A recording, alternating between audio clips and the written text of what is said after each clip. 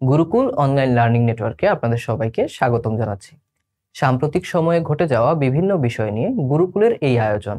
গুরুকুল বিভিন্ন প্রতিযোগিতামূলক পরীক্ষার প্রস্তুতি হিসেবে আপনাদের জন্য এই ক্লাসগুলো নিয়ে আসছে সাম্প্রতিক সাধারণ জ্ঞান নামে। এই ক্লাস জুড়ে আপনাদের সাথে থাকব আমি আসিফ রহমান।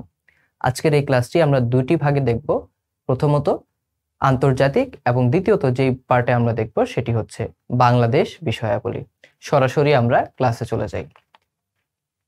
আন্তর্জাতিক। আন্তর্জাতিক বিষয়ে যদি আমরা নজর করতে চাই, তাহলে প্রথমেই আমাদেরকে যেই বিষয়টি দেখতে হবে, সেটি হচ্ছে যে খুবই দুঃখজনক একটি বিষয় ঘটে গেছে সাম্প্রতিক সময়ে, সেটি হলো যুক্তরাষ্ট্রে হাসপাতালে হামলা। আমরা যদি এটাকে একটু গভীরভাবে পর্যালোচনা করার চেষ্টা করি, তাহলে আমরা দেখব যুক্তরাষ্ট্রের ওকলোহোমায় একটি হাসপাতালে ক্যাম্পাসে বন্দুকধারীদের গুলিতে অন্তত চারজন নিহত হয়েছেন। এতে আহত হয়েছেন বেশ কয়েকজন। আমরা গত সপ্তাহে যে ক্লাসটি করেছিলাম, সেখানে আমরা দেখেছিলাম এই যুক্তরাষ্ট্রেরই একটি অঙ্গরাজ্যে, সেখানে আমরা দেখলাম যে স্কুলে কিন্তু বন্দুকধারীরা হামলা করেছেন। আজকে আমরা দেখতে পাচ্ছি যে যুক্তরাষ্ট্রে হাসপাতালের ক্যাম্পাসে কিন্তু বন্দুকধারীদের গুলিতে অন্তত চারজন নিহত হয়েছেন। অর্থাৎ যুক্তরাষ্ট্রের বর্তমান পরিস্থিতি যদি আমরা বিবেচনা করি, তাহলে আমরা দেখতে পারব যুক্তরাষ্ট্রে খুব ঘন ঘন কিন্তু হামলার ঘটনাগুলো ঘটছে। আমি গত ক্লাসেও একটি বিষয় বলেছি, সেটি এখানেও বলতে চাই, সেটা হচ্ছে যুক্তরাষ্ট্রের যে অস্ত্র আইন রয়েছে, সেটি নিয়ে কিন্তু অনেক দিন ধরে আলোচনা, সমালোচনা হচ্ছে। কেননা এই অস্ত্র আইনের বিভিন্ন ধারায় কিন্তু দেখা যাচ্ছে যে অনেক মানুষ যাদের কিনা অস্ত্র রাখার সে যোগ্যতা নেই, তারপরেও তাদের কাছে অস্ত্র বিক্রি করা হচ্ছে এবং যুক্তরাষ্ট্রে কিন্তু অস্ত্রের যেই অবস্থা, সবার কাছেই মোটামুটি এই জিনিসটি অ্যাভেইলেবল তো এই জিনিসগুলো নিয়ে কিন্তু যখনই একটি হামলা হয়, তখনই কিন্তু এই কথাগুলো বারবার উঠে আসে। এখন আমরা দেখতে পারলাম যে দুই সপ্তাহের মাথায় কিন্তু দুটি জায়গাতে আমরা একটি হামলা দেখতে পারলাম এবং এই হামলার ফলে কিন্তু নিহত এবং আহত হওয়ার পরিমাণ কিন্তু অনেক বেশি। তাই যুক্তরাষ্ট্রের অভ্যন্তরীণ বিষয়ে কিন্তু আমরা বলতে পারি এটি একটি চিন্তার ভাঁজ নিয়ে আসতে পারে। বুধবার রাতে এক সংবাদ সম্মেলনে দেশটির পুলিশ এটা জানিয়েছে এবং এই খবরটা নেওয়া হয়েছে সিএনএন থেকে। অর্থাৎ গতকাল রাতেই কিন্তু পুলিশ এটা নিশ্চিত করেছে যে চারজন মানুষ এখানে নিহত হয়েছেন। এই ঘটনা যদি আরেকটু বিস্তারিতভাবে আমরা দেখতে চাই, তাহলে আমরা দেখব পুলিশ জানায় ওকলোহোমার তুলসার হাসপাতাল ক্যাম্পাসে বন্দুকধারী গুলিতে চারজন নিহত হওয়া ছাড়াও বেশ কয়েকজন আহত হয়েছেন। তাহলে প্রতিযোগিতামূলক পরীক্ষায় কিন্তু এই ধরনের প্রশ্ন হতে পারে, সম্প্রতি যুক্তরাষ্ট্রের কোন হাসপাতালে বন্দুকধারীর হামলা হয়েছে? সেক্ষেত্রে আমাদেরকে জানতে হবে স্টেটের নাম হচ্ছে ওকলোহোমা এবং হাসপাতালটির নাম হচ্ছে তুলসার হাসপাতাল। সেক্ষেত্রে আমরা একটু দেখি পুলিশ জানায় সেন্ট ফ্রান্সিস হাসপাতাল ক্যাম্পাসের নাটালি মেডিকেল বিল্ডিংয়ের সেকেন্ড ফ্লোরে স্থানীয় সময় বুধবার চারটা পঞ্চাশ মিনিটে হামলা হয়। এবং হামলাকারী যে রয়েছে, তার নাম পরিচয় এখন পর্যন্ত কিন্তু জানানো হয়নি বা জানা যায়নি। সেক্ষেত্রে আমরা সেগুলো এখানে তুলে আনতে পারছি না। তবে একটি গল্পের আকারে কিন্তু এই জিনিসটি আমাদের মনে রাখতে হবে, কারণ যুক্তরাষ্ট্রে আমরা দেখতে পাচ্ছি কিছুদিন পরপরই হামলা হচ্ছে, সিরিজ হামলার মতো। প্রত্যেকটি জায়গায়, আগে আমরা স্কুলে দেখলাম, এখন হাসপাতালে দেখতে পেলাম যে এই ঘটনাগুলো ঘটছে, এখানে হামলা হচ্ছে। সেক্ষেত্রে কিন্তু আমাদেরকে এই জিনিসগুলো এবং যুক্তরাষ্ট্রের বর্তমান পরিস্থিতি যেটি রয়েছে, সেটির দিকে কিন্তু আমাদেরকে সবসময় নজর রাখতে হবে। আমরা পরবর্তী স্লাইডে যদি চলে যাই, তাহলে আমরা অনেকবার বলেছি এবং বর্তমান সময় পর্যন্ত ইউক্রেন রাশিয়া যে যুদ্ধ, সেইটি কিন্তু খুবই রিলেভেন্ট এবং এই যুদ্ধের আমরা দেখেছি যে প্রত্যেকটি দিন প্রত্যেকটি দিন যুদ্ধে একটি একটি নতুন ঘটনার সংযোজন হচ্ছে এবং সেই ফেব্রুয়ারি মাস থেকে কিন্তু এখন পর্যন্ত ইউক্রেন রাশিয়াকে নিয়েই সমগ্র বিশ্বে কিন্তু আলোচনা চলছে। তো সেই আলোচনাটি এখন কোন দিকে মোড় নিচ্ছে? ইউক্রেনকে নয়শো কোটি ইউরো সহায়তা দেবে ইইউ তাহলে ইইউ বলতে আমরা কি বুঝি? আমরা ইইউ বলতে ইউরোপিয়ান ইউনিয়ন বুঝি। এবং এই ইউরোপিয়ান ইউনিয়ন যেহেতু ইউক্রেনকে নয়শো কোটি ইউরো সহায়তা দিচ্ছে, সেক্ষেত্রে ইউরোপীয় ইউনিয়নও কিন্তু আমাদের সাম্প্রতিক আলোচনায় গুরুত্বপূর্ণ হয়ে ওঠে। তো আমরা এখান থেকে প্রথমত যে জিনিসটি জানা দরকার, সেটি হচ্ছে ইইউ এর মূল যেই ফর্ম রয়েছে ফুল ফর্ম সেটি কি? সেটি আমাদেরকে জেনে রাখতে হবে। দ্বিতীয়ত ইইউ এর বর্তমান সময়ে কয়টি রাষ্ট্র এর সদস্য সেটিও আমাদেরকে জেনে রাখতে হবে। বর্তমান সময়ে ইউরোপিয়ান ইউনিয়নের সদস্য রাষ্ট্রের সংখ্যা হচ্ছে সাতাশটি। আমরা বিস্তারিতভাবে এই ঘটনাটিকে আরেকটু দেখি যে কেন আসলে ইউরোপিয়ান ইউনিয়ন ইউক্রেনকে নয়শো কোটি ইউরো সহায়তা দেবে। ইউক্রেনকে নয়শো কোটি ইউরো জরুরি সহায়তা দেওয়ার ঘোষণা দিয়েছে ইউরোপীয় ইউনিয়ন একই সঙ্গে রাশিয়া থেকে জ্বালানি তেল আমদানিতে আরও কঠোর নিষেধাজ্ঞা আরোপের বিষয়ে একমত হয়েছেন ইইউ এর নেতারা। সেক্ষেত্রে কিন্তু আমাদেরকে এই যে নেতারা কারা, সেটিও জেনে রাখতে হবে। আমাদেরকে জেনে রাখতে হবে ইউরোপিয়ান ইউনিয়নের প্রেসিডেন্টের নাম কি। আমরা এখানে তার ছবি দেখতে পাচ্ছি। সাতাশ সদস্যের এই জোট জানিয়েছে, চলতি বছরের শেষ নাগাদ তারা রাশিয়া থেকে জ্বালানি তেল আমদানি দুই তৃতীয়াংশের বেশি কমিয়ে আনবে। ইউক্রেনের পূর্বাঞ্চল দনবাসে রুশ বাহিনী হামলা জোরদার করায় মস্কোর বিরুদ্ধে অর্থনৈতিক চাপ বাড়াতে ইইউ এই সিদ্ধান্তের কথা জানায়। গত সোমবারই ইউক্রেন এবং ইউরোপীয় ইউনিয়নের মধ্যে কিন্তু এটি আলোচনা হয়ে গেছে। সেই আলোচনা থেকে কিন্তু এটি জানানো হয়েছে যে নয়শো কোটি ইউরো তারা সহায়তা পাবেন। একই সাথে যেহেতু ইউক্রেনের উপর এক ধরনের অন্যায্য হামলা চালাচ্ছে রাশিয়া, সেক্ষেত্রে ইউক্রেনের পাশে কিন্তু ইউরোপীয় ইউনিয়ন এসে দাঁড়াবে। একই সাথে আমরা যে জিনিসটি দেখব সেটি হচ্ছে যে এই বছরের শেষ পর্যন্ত তারা রাশিয়া থেকে কিন্তু জ্বালানি, তেল আমদানি দুই তৃতীয়াংশের বেশি কমিয়ে আনবে এবং এটার কারণ কি? এটার কারণ হচ্ছে রাশিয়াকে এক ধরনের অর্থনৈতিক চাপ দেওয়া, এক ধরনের জোর প্রদান করা যেন তারা এই হামলাটি বন্ধ করে। বর্তমান সময়ে এসে রাশিয়া কিন্তু এখনও ইউক্রেনের উপর হামলা চালাচ্ছে। আমরা দেখতে পাচ্ছি যে ইউক্রেনের পূর্বাঞ্চলের দনবাসে তারা কি করছে? হামলাটি চালাচ্ছে এবং একটি শহরের কিন্তু সত্তর পার্সেন্ট তারা এখন পর্যন্ত দখল করে ফেলেছে। সেক্ষেত্রে ইউক্রেন কিন্তু তার যে ভূমি, সেটি দিন দিন হারাচ্ছে এবং রাশিয়া কিন্তু ইউক্রেনকে মোটা দাগে আমরা বলতে পারি সম্পূর্ণভাবে দখল করে নিচ্ছে। তাই বিশ্ববাসী চেষ্টা করছে যে রাশিয়াকে এই জিনিস থেকে আটকানো, তাদেরকে একটা পিছু টান সৃষ্টি করা। কিন্তু রাশিয়া কিন্তু এই যে কূটনীতি রয়েছে, এই কূটনীতিতে নিজেদেরকে অনেক এগিয়ে নিয়ে যাচ্ছে। এবার যদি আমরা দেখি আমরা কিন্তু বিষয়গুলো দেখলাম যে ইউক্রেনের পার্সপেক্টিভ থেকে, ইউরোপীয় ইউনিয়নের পার্সপেক্টিভ থেকে কিংবা ন্যাটোর জায়গা থেকে আমরা দেখলাম তারা রাশিয়াকে দমানোর চেষ্টা করছে। কিন্তু রাশিয়ার জায়গা থেকে ব্যাপারটা কি আমরা একটু দেখি। রাশিয়ার উপর নিষেধাজ্ঞায় বিপাকে ইউরোপ। এই যে নিষেধাজ্ঞাগুলো দিচ্ছে, তারা ধারণা করেছিল যে এতে রাশিয়া দমে যাবে এবং এর ফলে তারা রাশিয়াকে এক ধরনের পিছু টানের মধ্যে আটকে রাখতে পারবে। কিন্তু ব্যাপারটি যেটি হলো, এটি কিন্তু একটা উল্টা বিষয় হয়ে গেল এবং রাশিয়ার জন্য এটা হয়ে গেল সাপে বর। কারণ ইউক্রেনের উপরে হামলা চালানোর ফলে রাশিয়ার উপর যে নিষেধাজ্ঞা এসেছে, এটার কারণে কিন্তু বিপাকে পড়েছে ইউরোপ নিজেই। তো এটা কেন বিপাকে পড়ল? দুটো জিনিস আমাদেরকে জানতে হবে। রাশিয়া কিন্তু ওই অঞ্চলটাতে গ্যাসের সরবরাহ করে থাকে সবচেয়ে বেশি। একই সাথে রাশিয়া যেটা করে সেটা হচ্ছে যে সে সেখানে তেলের সরবরাহ করে। এখন আমরা জানি যে বিদ্যুৎ উৎপাদনের ক্ষেত্রে কিন্তু এই তেল এবং গ্যাস দুইটাই প্রয়োজন। এবং রাশিয়া যেটা করেছে, যখন তাদের উপর নিষেধাজ্ঞা এসেছে, তারা কিন্তু আর ওই জোরাজোরি করেনি। তারা বলেনি যে, না, ঠিক আছে, আমরা মেনে নিলাম। আমাদের থেকে আপনারা বিদ্যুৎ এবং যে গ্যাস আছে, এগুলো কেনেন। রাশিয়া এটা করেনি। রাশিয়া সুন্দর মতো অন্য একটা পলিসিতে চলে গেছে। সেই পলিসি আমরা সামনেই আলোচনা করব। সেই খুব গোপনে গোপনে কিছু তেল বিক্রির চিন্তা করে রেখেছিল আগে থেকেই।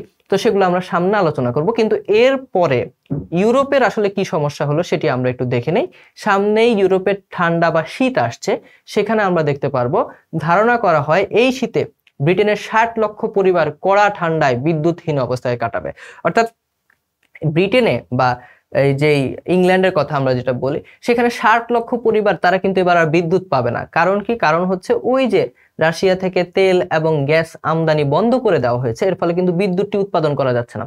এখন এটা না হলে কি হবে? এই যে শীতের সময় ষাট লক্ষ পরিবার তারা যদি বিদ্যুৎ, বিদ্যুৎহীন অবস্থায় থাকে, সেক্ষেত্রে কিন্তু তাদের একটা বিশাল সমস্যা। সমগ্র ব্রিটেনের উপরে এটা কিন্তু একটা বিপাকের মতো আমরা বলতে পারছি। কারণ আমরা জানি যে ইউরোপে প্রচণ্ড ঠান্ডা পড়ে শীতের সময় এবং ওই সময় ঘরগুলোকে হিটার দিয়ে হিট করে রাখতে হয় এবং একটা পরিস্থিতি সৃষ্টি করতে হয় যেন একটু ভালো অবস্থায় থাকা যায়। এবং আমরা জানি যে বিদ্যুৎ বিদ্যুৎ কিন্তু খুবই গুরুত্বপূর্ণ একটি উপাদান আমাদের দৈনন্দিন জীবনে। সেক্ষেত্রে রাশিয়া থেকে যখন তারা এই তেল এবং গ্যাস কেনা বন্ধ করে দিচ্ছেন, তখন কিন্তু তাদের এই বিদ্যুতে একটি ঘাটতি হচ্ছে। এই ঘাটতি আরও বেশি হচ্ছে কার ক্ষেত্রে? জার্মানির ক্ষেত্রে। কারণ হচ্ছে জার্মানি তার তেলের মোট চাহিদার বারো শতাংশ কিন্তু রাশিয়া থেকে আমদানি করে। এবং একই সাথে আমরা যেটা দেখতে পাবো সেটা হচ্ছে গ্যাসের পঁয়ত্রিশ শতাংশ তারা রাশিয়া থেকে আমদানি করে। অর্থাৎ জার্মানি যখন এই সিদ্ধান্তটি মেনে নিল, তখন জার্মানির উপর কিন্তু এটা একটা বিশাল বোঝা হিসেবে চলে আসলো। তারপরেও তারা চেষ্টা করছে যে রাশিয়ার সাথে কোনোভাবে আর কোনো ধরনের সমঝোতা না করে কীভাবে এগিয়ে যাওয়া যায়। সেক্ষেত্রে জার্মানির তুলনায় আমরা আরেকটি জিনিস জেনে রাখি, অনেক বেশি আমদানি নির্ভর কিন্তু হাঙ্গেরি। হাঙ্গেরি কিন্তু রাশিয়ার গ্যাস এবং তেল ছাড়া চলতেই পারবে না। এর ফলাফল আমরা দেখতে পাচ্ছি, হাঙ্গেরি কিন্তু এই যে এই সিদ্ধান্ত, রাশিয়ার উপর নিষেধাজ্ঞার যে সিদ্ধান্ত, এগুলো মানবে না বলে ইতোমধ্যেই জানিয়েছে। তারা জানিয়েছে যে তারা রাশিয়ার সাথে যে সম্পর্ক রয়েছে, রাশিয়ার তেল, গ্যাস আমদানি যে ব্যাপারটি তাদের মধ্যে রয়েছে, এটি তারা চালিয়ে যাবে। এবার দেখি যে আবার ইউক্রেনকে অস্ত্র দেওয়ার কথা বলে রাশিয়ার সঙ্গে যুদ্ধের ঝুঁকিতে চলে গেছে কিন্তু যুক্তরাষ্ট্র। এখানেও একটা পিছনের দিকে আমরা যদি যাই, তাহলে আমরা দেখতে পারব এখানেও কিন্তু একটা ব্যাকওয়ার্ড অবস্থানে বা ব্যাকফুটে রয়েছে সেই যুক্তরাষ্ট্র। রাশিয়ার কিন্তু কোনো ক্ষতি এখানে হচ্ছে না। আমরা একটু দেখে নেই, ইউক্রেনকে অত্যাধুনিক প্রযুক্তির রকেট ব্যবস্থা সরবরাহের ব্যাপারে একদিনের মাথায় সিদ্ধান্ত বদল করলেন যুক্তরাষ্ট্রের প্রেসিডেন্ট জো বাইডেন। ইউক্রেনের পূর্বাঞ্চলে রুশ হামলা জোরদারের মুখে গতকাল মঙ্গলবার তিনি কিয়েভকে অত্যাধুনিক রকেট ব্যবস্থা দেওয়ার ঘোষণা দিয়েছেন। মঙ্গলবার তিনি বললেন যে কিয়েভকে রকেট ব্যবস্থা আমরা দেওয়ার ঘোষণা দিলাম এবং যেহেতু রাশিয়া এই আগ্রাসন চালিয়ে যাচ্ছে, তাহলে ইউক্রেনকে সহায়তা করতে হবে, তাই তাকে আমরা অত্যাধুনিক রকেটের যে সহায়তা, এটি দিব। কিন্তু দেখা গেল বুধবারেই জো বাইডেন কিন্তু তার কথা যেটি রয়েছে, এটি প্রত্যাখ্যান করতে তিনি কিন্তু বাধ্য হলেন। কেন বাধ্য হলেন? কারণ যদি এই ঘটনাটি ঘটে, তাহলে রাশিয়া কিন্তু আগে থেকেই হুমকি দিয়ে রেখেছে যে যারা যারা এই জায়গায় ইউক্রেনকে সহায়তা দিবে, তাদের সাথে কিন্তু সম্মুখ যুদ্ধে রাশিয়া অগ্রসর হবে।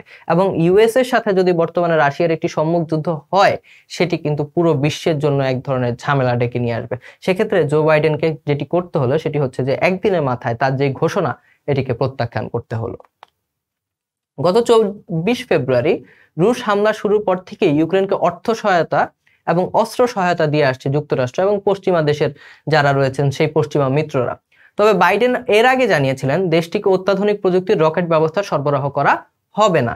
কিন্তু বিভিন্ন সময়ে যুদ্ধ পরিস্থিতি এমন একটা জায়গায় চলে যাচ্ছে যে বারবার কিন্তু এই বক্তব্যগুলো চেঞ্জ করতে হচ্ছে। কিন্তু মঙ্গলবার যেটা হলো নিউ ইয়র্ক টাইমসে প্রকাশিত এক নিবন্ধে তিনি লেখেন, আমরা ইউক্রেনকে আরও উন্নত রকেট ব্যবস্থা এবং যুদ্ধাস্ত্র পাঠাবো। ইউক্রেনের যুদ্ধক্ষেত্রে লক্ষ্যবস্তুতে আরও সূক্ষ্মভাবে হামলা চালাতে তাদের এটা সাহায্য করবে। অর্থাৎ ইউক্রেনের বাহিনীকে এই জিনিসটা সাহায্য করবে। কিন্তু দেখা গেল যে মঙ্গলবারের পরবর্তী সময় বুধবারে জো বাইডেন কিন্তু বাধ্য হলেন তার কথাটি ফিরিয়ে নিতে। কারণ আসলেই যদি এই ধরনের ঘটনা ঘটানো হয়, অর্থ এবং অস্ত্র সহায়তা দেওয়া হয়েছে, তারপরেও যদি উন্নত রকেট সহায়তা দেওয়া হয় ইউক্রেনকে, তাহলে এটা আস্তে আস্তে একটা বিশ্বযুদ্ধের দিকে রূপ নেবে। এইটা কিন্তু প্রথম থেকেই আলোচনায় ছিল যে ইউক্রেন যদি রাশিয়ার সাথে যুদ্ধে জড়ায় বা রাশিয়া যদি ইউক্রেনের সাথে যুদ্ধে জড়ায়, এটা কি একটা বিশ্বযুদ্ধের রূপ নিবে কিনা? এটা এখন পর্যন্ত বিভিন্ন থিওরি অনুযায়ী আমরা দেখতে পাচ্ছি যে না, এটা একটা সিভিল ওয়ারের মধ্যেই থাকবে কিংবা হচ্ছে একটা দীর্ঘমেয়াদী যুদ্ধ হিসেবেই থাকবে। কিন্তু এখন পর্যন্ত বিভিন্ন সময়ে কিন্তু এই অঞ্চল ঘিরে বিভিন্ন ধরনের উত্তেজনা আমরা দেখতে পাচ্ছি। এবং যেটি আমাদেরকে খুব সহজভাবে বুঝতে হবে, এভাবে চলতে থাকলে একটা সময় এটা কিন্তু আরও কঠিন পরিস্থিতির দিকে পৃথিবীকে নিয়ে যেতে পারে। কারণ চব্বিশে ফেব্রুয়ারি থেকে এই আলোচনা শুরু হয়েছে। এখন পর্যন্ত আমাদের কাছে এটা কিন্তু রেলেভেন্ট আমরা এখন জুন মাসে বসবাস করছি। সেই ক্ষেত্রে এইটা কিন্তু সমগ্র বিশ্বের জন্য আমরা বলতে পারি যে একটা বিরাট ইস্যু হয়ে দাঁড়িয়েছে। এবার আমরা দেখি যে এই জিনিসগুলোকে রাশিয়া কীভাবে ডিল করছে বা রাশিয়া কীভাবে দেখছে। নিষেধাজ্ঞার পরেও ধসে পড়ছে না রুশ অর্থনীতি। আমরা দেখেছি জানুয়ারি মাস থেকেই কিন্তু রাশিয়ার উপর বিভিন্ন ধরনের কড়া কথা এবং বিভিন্ন ধরনের আরোপ কিন্তু করা হয়েছে, বিভিন্ন ধরনের নিষেধাজ্ঞা কিন্তু তাকে দেওয়া হয়েছে। তারপরেও রাশিয়ার অর্থনীতি কিন্তু এখনও চাঙ্গা এবং সচল আছে। চলতি বছরের জানুয়ারি মাসের তুলনায় এপ্রিল মাসে রাশিয়ার তেল বিক্রি বেড়েছে পঞ্চাশ শতাংশ। অর্থাৎ এই যে নিষেধাজ্ঞা তাকে দেওয়া হলো, এটা তো তার জন্য সাপে বর হয়ে আসলো। কারণ তার তেল বিক্রি আগে থেকে ফিফটি পার্সেন্ট বেড়ে গিয়েছে। এবং সেই বিক্রি থেকে রাশিয়া মাসে প্রায় বিশ বিলিয়ন ডলার বা দুই হাজার কোটি ডলার আয় করছে। অর্থাৎ এইটা কিন্তু হিউজ বিশাল। রাশিয়া কিন্তু সে তো দমে যাওয়ার পাত্রই নয়, তাকে কোনোভাবে দমানো গেল না রেদার তার একটা অর্থনৈতিক বুম বা অর্থনৈতিক উন্নতি কিন্তু আমরা এখানে দেখতে পাচ্ছি। পশ্চিমাদের এত অবরোধ সত্ত্বেও যে রুশ অর্থনীতি ধসে যায়নি, তার মূল কারণ গোপন তেল বাণিজ্য। আমি আগেই যেটা বলছিলাম যে রাশিয়া কিন্তু একটা গোপন তেল বাণিজ্যের দিকে এগিয়েছে এবং সেটি নিয়েও আমরা সামনে একটু আলোচনা করব। সেই সঙ্গে সামষ্টিক অর্থনীতি ব্যবস্থাপনায় কৃতিত্বের পরিচয় দিয়েছে দেশটি। পুতিনকে কিন্তু কোনোভাবেই আটকানো যাচ্ছে না। পুতিনকে যতই চেষ্টা করা হচ্ছে, তাকে কিন্তু কোনোভাবেই আটকানো যাচ্ছে না এবং এই রুশ অর্থনীতি যে এখন পর্যন্ত ধসে যায়নি, এটার অন্যতম কারণ হিসেবে দেখানো হচ্ছে রাশিয়া গোপনে তেল বাণিজ্য করছে। প্রশ্ন হচ্ছে, এই তেল বাণিজ্য কার সাথে সে করছে? তাহলে এই পরবর্তী আমাদের আলোচনা রাশিয়ার সস্তার তেল বেশি করে কিনছে চীন। তাহলে আমরা যে বলছি যে রাশিয়া গোপনে তেল বাণিজ্য করছে, কার সাথে করছে? সেটি হচ্ছে চীনের সাথে করছে। আমরা এই জিনিসটিকে আর একটু গভীরে গিয়ে দেখি।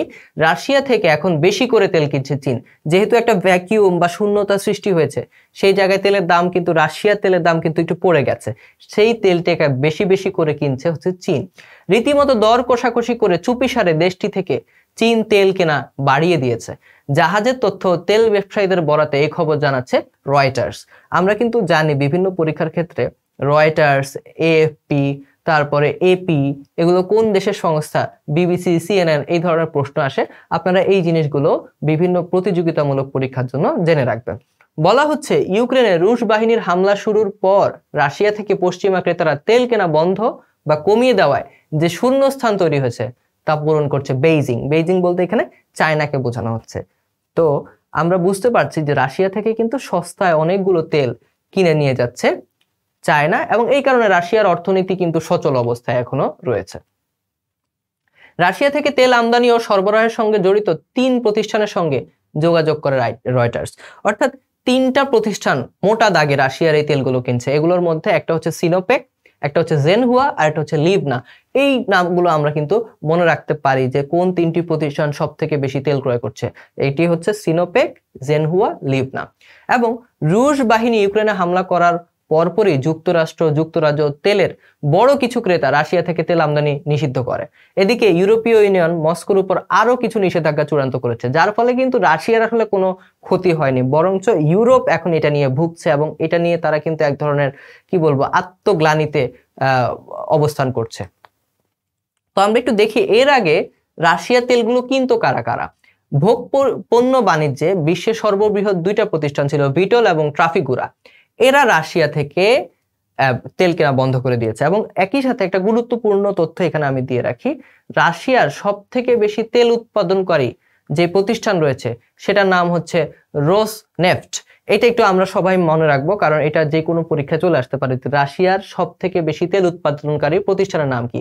রোজ নেফট এই রোজ নেফট থেকে তেল কেনা বন্ধ করে দিয়েছে ভিটল এবং ট্রাফিকুরা। এবং ধারণা করা হচ্ছিল যে পনেরো মে থেকে যেই নিয়ম কার্যকর হয়েছে, যে নিষেধাজ্ঞা কার্যকর হয়েছে, তাতে আসলে এই রোজনেফট ক্ষতির সম্মুখীন হবে। কিন্তু পরবর্তীতে দেখা গেল যে না, তিনটা প্রতিষ্ঠান তাদের তেলগুলো কিনে নিয়ে যাচ্ছে। একটা হচ্ছে সিনোপেক একটা হচ্ছে জেনহুয়া এবং লিবনা। এবং এর ফলে দেখা যাচ্ছে যে রাশিয়ার আসলে কোনো অর্থনৈতিক ধস তো নামেইনি, বরং তাদের জানুয়ারি মাসে অর্থনীতির অবস্থা যা ছিল, এপ্রিল মাসে এসে সেটা আরও অনেক বেশি চাঙ্গা হয়ে গেছে। এবার আমরা আজকে তাজা একটি খবর নিয়ে আলোচনা করি, যেটা খুবই গুরুত্বপূর্ণ এবং বিনোদন জগতে গত কয়েক মাস ধরে যেটি সবসময় আলোচনায় ছিল। আমরা জানি যে পাইরেটস অফ দ্য ক্যারিবিয়ান খ্যাত অভিনেতা জনি ডেপ তার জীবনের সব থেকে ফেমাস যে ছবি রয়েছে, তার মধ্যে একটি হচ্ছে পাইরেটস অফ দ্য ক্যারিবিয়ান এবং তাকে সবাই ওই পাইরেটস অফ দ্য ক্যারিবিয়ান হিসেবেই চিনে। আমরা সবাই এই ধরনের মুভিগুলো দেখেছি এবং সেখানে তার অনবদ্য অভিনয় দেখেছি। একই সাথে যদি আমরা তার স্ত্রীর কথা বলি, সাবেক স্ত্রী যিনি ছিলেন অ্যাম্বার হার্ড সেই অ্যাম্বার হার্ডও কিন্তু একটি অসাধারণ ছবি করেছিলেন, যেটি নিয়ে তাকে সবাই চেনে সেটা নাম হচ্ছে অ্যাকোয়াম্যান তো দুইজন সুপারস্টার তাদের বিয়ে হয়েছিল এবং তাদের পরবর্তীতে আমরা দেখেছি যে তাদের মধ্যে ডিভোর্স হয় এবং এটি নিয়ে বিভিন্ন ধরনের জল ঘোলা কিন্তু হয়। একই সাথে জনি ডেপ তার স্ত্রীর বিরুদ্ধে মামলা করেন এবং অ্যাম্বার হার্ডও তার স্বামীর বিরুদ্ধে মামলা করেন এবং আজকে সকালেই এই মামলাটির রায় হয়েছে, আমরা সেই বিরুদ্ধে সেই বিষয়টি একটু দেখে আসি। পাইরেটস অফ দ্য ক্যারিবিয়ান খ্যাত অভিনেতা জনি ড্যাপ ও তাদের সাবেক স্ত্রী অ্যাম্বার হার্ডের বিরুদ্ধে করা মানহালির মামলায় তিনি জিতেছেন। আদালত ডেপের পক্ষে রায় দেয় এবং স্ত্রীকে দেড় কোটি ডলার জরিমানা করেছেন। ভারতীয় সংবাদ মাধ্যম এনডিটিভির এক প্রতিবেদনে এই তথ্য জানানো হয়। অর্থাৎ আদালত কিন্তু রায় দিয়েছে জনি ডেপের পক্ষে এবং অ্যাম্বার হার্ডের উপরে প্রায় দেড় কোটি ডলার জরিমানা করা হয়েছে। একই সাথে কিছু কিছু জায়গায় আবার আদালত জনি ডেপেরও কিছু খুঁটি খুঁজে পেয়েছেন এবং তারা সেই জায়গায় খুদ ধরে তাকেও মানহানির মামলার কেসে এম্বার হার্টকে দুই মিলিয়ন বা বিশ লাখ ডলার জরিমানা দিতে বলেছেন। কিন্তু সামগ্রিকভাবে চিন্তা করলে যেটা আমরা দেখব সেটি হচ্ছে যে এই মামলায় জিতেছেন জনি ডেপ এবং এর মাধ্যমে কিন্তু দুই হাজার ষোলো সাল থেকে শুরু হওয়া একটা বিতর্কের অবসান দুই হাজার বাইশ সালে প্রায় ছয় বছর পরে এসে এই বিতর্কের অবসান ঘটলো এবং জনি ডেপের ক্যারিয়ারে কিন্তু এটা একটা বিশাল আলোচনা ছিল এবং তার ক্যারিয়ার কিন্তু অনেক পিছিয়ে গেছিল এই স্ক্যান্ডাল বা এই কলঙ্কের কারণে। সেক্ষেত্রে কিন্তু জনি ডেপ সেখানে এই স্ক্যান্ডালটি থেকে মুক্তি পেলেন আজকে এবং তিনি প্রায় দেড় কোটি ডলার জরিমানা হিসেবে পাচ্ছেন অ্যাম্বার হার্ট থেকে। এইবার যদি আমরা বাংলাদেশ বিষয়াবলিতে চলে আসি, আমাদের সবচেয়ে গুরুত্বপূর্ণ যে বিষয়টি দেখতে হবে সেটি হচ্ছে যে পদ্মা সেতু। আমরা পঁচিশ জুন পদ্মা সেতু উদ্বোধন হবে, তারপরে যে কেউ পদ্মা সেতুর উপর উঠতে পারবে। এর আগে পনেরো জুনের মধ্যে পুরোপুরি প্রস্তুত করা হবে পদ্মা সেতুকে তাহলে আমরা একটু দেখে নিই, মে পর্যন্ত আসলে কি রিপোর্ট আসলো? মে পর্যন্ত মূল সেতুর কাজ শেষ হয়েছে নিরানব্বই শতাংশ, অর্থাৎ মাত্র এক শতাংশ কাজ এখনও বাকি রয়েছে। এর মধ্যে কি কি বাকি রয়েছে আমরা একটু দেখি। সেতুতে যানবাহন চলাচলের পথে সাইন, সংকেত পথ নির্দেশক। চিহ্ন দেওয়ার কাজ সত্তর শতাংশ শেষ হয়েছে, দশ জুনের মধ্যে এই কাজটিও শেষ হয়ে যাবে। সেতুর কনক্রিটের দেয়ালের উপরে স্টিলের রেলিং বসানোর কাজ চলমান আছে। এবং এই কাজটি কিন্তু অনেক আগেই শেষ হয়ে যাওয়ার কথা ছিল। কিন্তু কেন শেষ হয়নি সেটি আমরা একটু দেখি। রাশিয়া ইউক্রেন যুদ্ধের কারণে জাহাজে রেলিং এর সরঞ্জাম আসতে দেরি হয়েছে। এই কারণে এই কাজটি কিন্তু পিছিয়ে গেছে। এই কাজও পনেরো জুনের মধ্যে প্রকল্প কর্মকর্তারা শেষ করে ফেলতে চান এবং প্রায় উদ্বোধনের দশ দিন আগে পদ্মা সেতুকে পুরোপুরি রূপে তারা কিন্তু আমরা প্রস্তুত হিসেবে রাখতে চান। এবার আমরা পদ্মা সেতু সংক্রান্ত কিছু তথ্য জেনে নেই, যেগুলো পরীক্ষায় আসতে পারে। মূল সেতুর যে কাজ করেছে, সেটি হচ্ছে চীনা ঠিকাদারি প্রতিষ্ঠান। তার নাম হচ্ছে চায়না মেজর ব্রিজ ইঞ্জিনিয়ারিং। যে কোনো পরীক্ষার জন্য গুরুত্বপূর্ণ। একই সাথে আমাদের যেটি জেনে রাখতে হবে, তাদের সাথে আমাদের চুক্তি হয়েছে বারো হাজার চারশো চুরানব্বই কোটি টাকা। এরপর যদি আমরা দেখি যে পদ্মা সেতুকে বলা হয় প্রমত্তা পদ্মা, অর্থাৎ এটার যেই ঢেউ এটার যেই খরচ স্রোত এই জিনিসটি কিন্তু আটকানো খুবই কঠিন এবং আমরা জানি পদ্মা সেতুর ব্যয় বেড়ে যাওয়ার অন্যতম একটা কারণ হচ্ছে নদী শাসন। সেই নদী শাসনের কাজ কে করেছে? নদী শাসনের কাজ দেওয়া হয়েছে এটাও চীনের একটা প্রতিষ্ঠানকে। এটা নাম হচ্ছে সিনো হাইড্রো কর্পোরেশন এবং এখন পর্যন্ত পদ্মা সেতু তিরানব্বই শতাংশ নদী শাসনের কাজ কিন্তু হয়ে গেছে। তাদের সাথে আমাদের চুক্তি হয়েছে আট হাজার নয়শো বাহাত্তর কোটি টাকার। এরপরে যদি আমরা দেখি আরও কোথায় কোথায় সবচেয়ে বেশি, আহ আমাদের খরচ হয়েছে, তার মধ্যে একটি হচ্ছে ভূমি অধিগ্রহণ করতে এবং এটা পুনর্বাসন করতে কিন্তু বেশ অনেকটা টাকা খরচ হয়েছে। এর মধ্যে ভূমি অধিগ্রহণ ও পুনর্বাসনে ব্যয় ধরা হয়েছে চার হাজার তিনশো বিয়াল্লিশ কোটি টাকা। পদ্মা সেতু প্রকল্পে মোট ব্যয় হয়েছে তিরিশ হাজার একশো তিরানব্বই কোটি টাকা। এর মধ্যে অনাকাঙ্ক্ষিত ব্যয়, যেমন নদী শাসন করতেই আমাদের অনেক খরচ গিয়েছে, তাছাড়া পদ্মার আচরণ কিন্তু প্রতি মুহূর্তে চেঞ্জ হয়, সেগুলোতে অনেক খরচ হয়েছে। তাছাড়া হচ্ছে যে এই যে ভূমি অধিগ্রহণ, পুনর্বাসন, বারবার স্ট্রাকচার চেঞ্জ হওয়া, এগুলোর কারণে কিন্তু পদ্মা সেতুর ব্যয় বেড়েছে। কিন্তু এত ধরনের প্রতিবন্ধকতা থাকা সত্ত্বেও পদ্মা সেতু পুরোপুরি চালু হচ্ছে এবং আগামী পঁচিশ জুনের পরেই যে কেউ পদ্মা সেতুতে কিন্তু এই ব্যবহার করতে পারবেন। সেক্ষেত্রে আমাদের জন্য এটা খুবই গুরুত্বপূর্ণ, কারণ পদ্মা সেতু আমাদের নিজেদের অর্থায়নে করা একটি সেতু এবং এটা আমাদের গর্বের একটা বিষয়। সেক্ষেত্রে পরীক্ষার ক্ষেত্রে সবাই অবশ্যই পদ্মা সেতু সম্পর্কে সর্বোচ্চ ধারণা রাখার চেষ্টা করবেন। তো আজকে মোটামুটি অনেকটুকু আমরা আলোচনা করার চেষ্টা করেছি, বিস্তারিতভাবে অনেক কিছু আলোচনা করেছি। আশা করি এই জিনিসগুলো আপনাদের কাজে আসবে। আজকের আলোচনা নিয়ে আপনাদের যদি কোনো ধরনের প্রশ্ন বা মতামত থাকে, অবশ্যই কমেন্ট সেকশনে সেটি আমাদেরকে জানাবেন। আর এতক্ষণ ধরে গুরুকুল অনলাইন লার্নিং নেটওয়ার্কের সাথে থাকার জন্য আপনাদের সবাইকে আবারও ধন্যবাদ জানিয়ে আমি আমার বক্তব্য এখানেই শেষ করছি। ধন্যবাদ।